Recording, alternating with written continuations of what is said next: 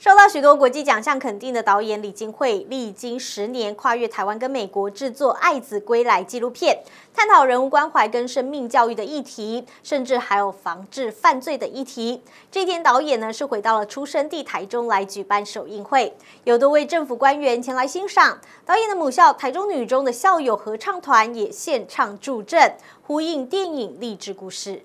杨妈妈亲手写下一封封的信，关怀纽约监狱中的华裔受刑人，让深陷牢狱的人也能感受到仿佛母亲的爱。即将上映的纪录片《爱子归来》，记录从台湾移民到美国的杨妈妈关怀生命以及与孙女化解心结的动人故事。这部电影《爱子归来》刻画她和监狱中重刑犯的长期徒刑受刑人。展开了从陌生到情同母子非常动人的感情，也刻画他和祖孙啊两代之间跨代的隔阂。但是透过十年的拍摄，我们看到他们关系从疏离到转变成非常亲密的互动，非常动人的祖孙情。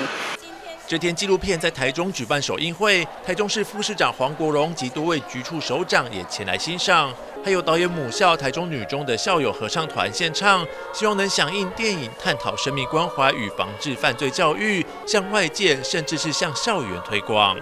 从这个社会的关怀面，或者是比较属于社会边缘的这些议题，比较一般的导演不愿意去碰触，或者认为不值得碰触的议题，他可以专心的啊来拍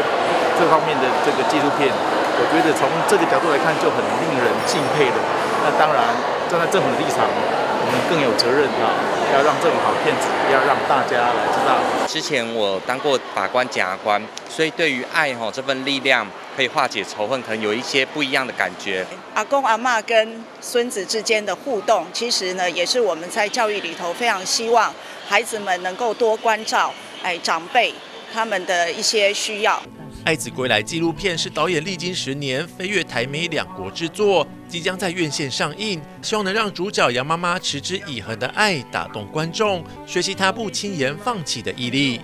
记者赖依莹台中采访报道。